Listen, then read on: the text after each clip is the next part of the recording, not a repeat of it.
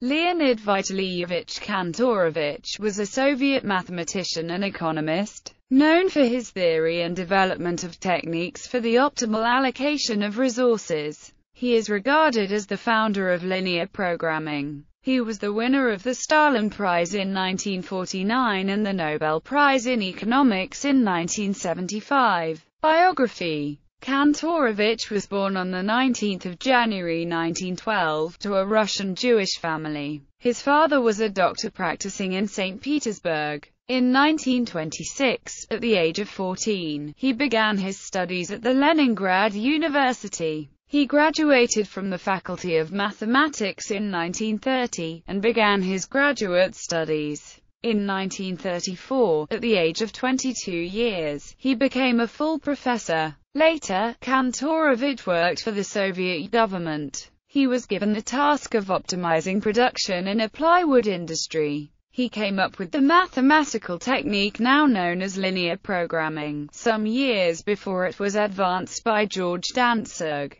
He authored several books including The Mathematical Method of Production Planning and Organization and The Best Uses of Economic Resources. For his work, Kantorovich was awarded the Stalin Prize in 1949. After 1939, he became the professor of military engineering Technical University. During the siege of Leningrad, Kantorovich was the professor of VITU of Navy and in charge of safety on the road of life.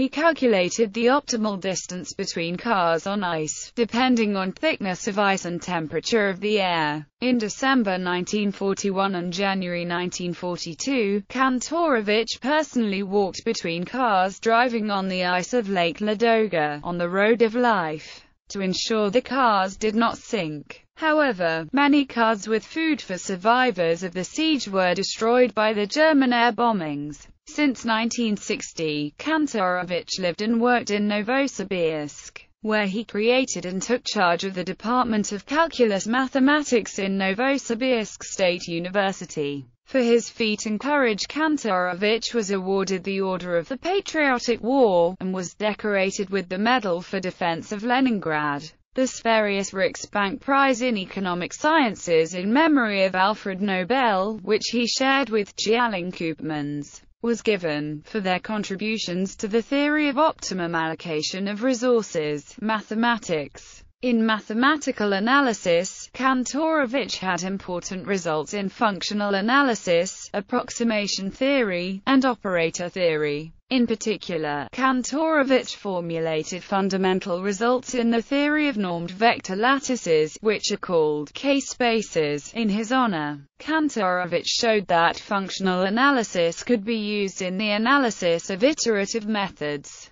obtaining the Kantorovich inequalities on the convergence rate of the gradient method and of Newton's method. Kantorovich considered infinite-dimensional optimization problems, such as the Kantorovich-Monge problem in transportation theory. His analysis proposed the Kantorovich metric, which is used in probability theory, in the theory of the weak convergence of probability measures. Portrait by Petrov Vodkin. 1938 1976. Original CIA file on Kantorovich, seized from the former U.S. Embassy in Tehran.